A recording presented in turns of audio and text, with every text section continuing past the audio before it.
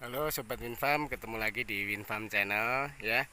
E, hari ini saya lagi petik asparagus untuk sup anak saya ya.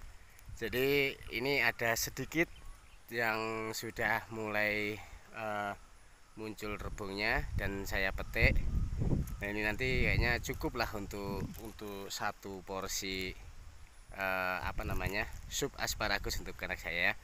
Jadi seperti ini tadi hasilnya. Ini yang saya bawa ini. Nah ini. Ini rebung asparagus ya. Ini memang sudah telat sudah telat dipanen tapi tidak apa-apa karena belum mekar ini kuncupnya. Ujungnya ini belum mekar jadi apa namanya eh, daun jadi masih bisa dikonsumsi. Dan tadi saya juga petik ini apa namanya wow biji asparagus ya. Biji asparagus yang ini nanti akan saya siapkan untuk jadi eh, benih kemudian saya semai untuk jadi bibit asparagus ya. Ah sobat infam ini sedikit informasi. Jadi eh, rebung asparagus itu kalau dari informasi yang saya baca entah itu dari halo dokter di situ web halo dokter atau uh, tanya dokter.com kalau nggak salah ya itu. Ada beberapa situs yang menginformasikan bahwa asparagus rebung asparagus ini sangat bagus untuk uh, balita ya. Maksudnya untuk untuk anak-anak anak kecil. Jadi anak kecil yang usianya satu tahun ke atas itu udah boleh mengkonsumsi asparagus uh, rebung asparagus ini langsung ya. Kalau misalnya uh, belum satu tahun itu belum boleh belum boleh e, mengkonsumsi asparagus secara langsung. Itu dari informasi yang saya dapat ya. Jadi karena anak saya itu udah satu tahun lebih ini nanti akan saya e, bawa pulang. Kemudian saya buat sup asparagus untuk anak saya ya. Terus ketika anak masih di dalam kandungan mungkin usia kandungan e, buat ibu-ibu hamil ya e, usia kandungannya itu mungkin sekitar kalau sudah ketahuan dari usia satu bulan dua atau dua bulan itu rutin mengkonsumsi asparagus rebung asparagus itu pertumbuhan janinnya akan sangat bagus ya. E, dari informasi juga ini yang saya dapat itu akan membantu e, pertumbuhan atau perkembangan DNA janin.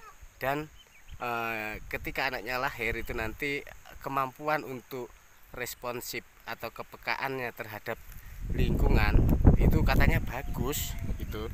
Dan apa namanya eh, waktu hamil istri saya hamil karena saya belum punya pasar belum punya pasar asparagus waktu itu setiap kali panen saya suruh istri saya untuk mengkonsumsi dan syukur. Akhirnya anak saya juga eh, lumayan bagus uh, daya tangkapnya. Jadi ketika diajak ngobrol untuk anak usia satu setengah tahun itu lumayan membanggakan lah ya buat orang tua.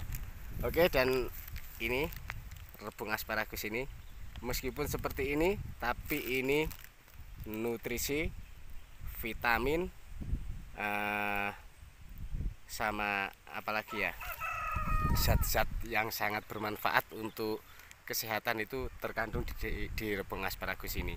Jadi buat sobat winfarm yang mau e, budidaya asparagus baik itu skala e, rumah tangga yang bisa ditanam di polybag untuk konsumsi sendiri ataupun e, budidaya untuk usaha itu e, tidak ada salahnya untuk mencoba. Karena sayuran ini memang sayuran kelas atas. Jadi kalau ketemu pasarnya itu sangat luar biasa ya.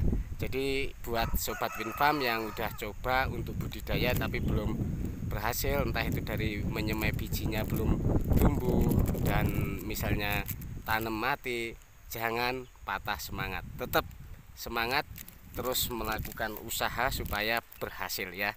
Oke terima kasih Sobat Winfarm.